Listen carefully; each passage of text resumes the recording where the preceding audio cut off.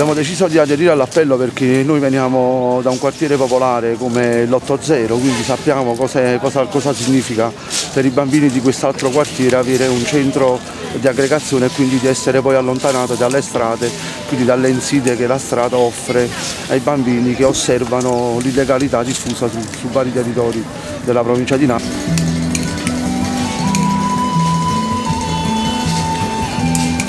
Eh, ora stiamo facendo un campo grazie, grazie ai ragazzi del Parco Verde, l'associazione del Parco Verde.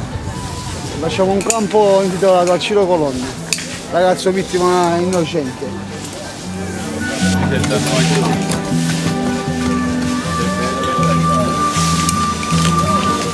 Noi stiamo mettendo a posto il campetto di calcio di Ponticelli per eh, così può iniziare ad essere utilizzato dai ragazzi. E noi siamo dei ragazzi di un campo di, di Libera, di Estate Liberi. E mm, io vengo da Milano, loro da Bolzano, Bergamo, Bergamo eh, lui da Bologna, lui da Firenze. E stiamo qui un sei, sei giorni a fare vari lavori di volontariato.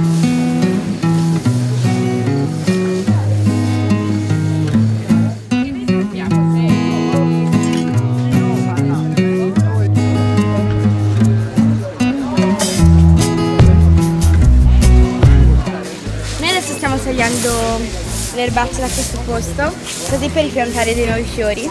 Penso che sia una cosa molto utile e che serva perché comunque sia uh, è brutto lasciare le cose andare in rovina, quindi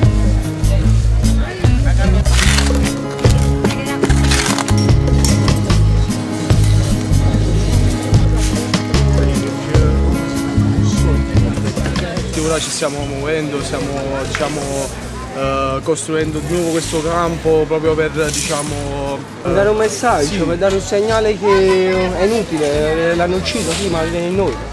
Cioè, uh, come dire. È un segno di speranza sì, per tutti i ragazzi. un segno di speranza al quartiere.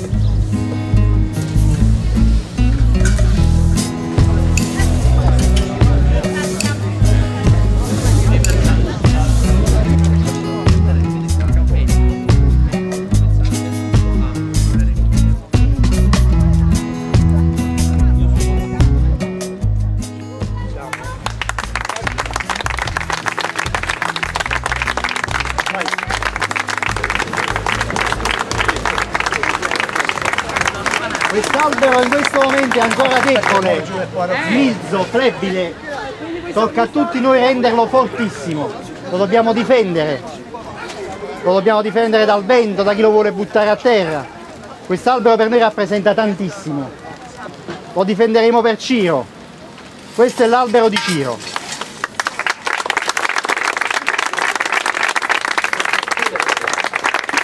Sudah.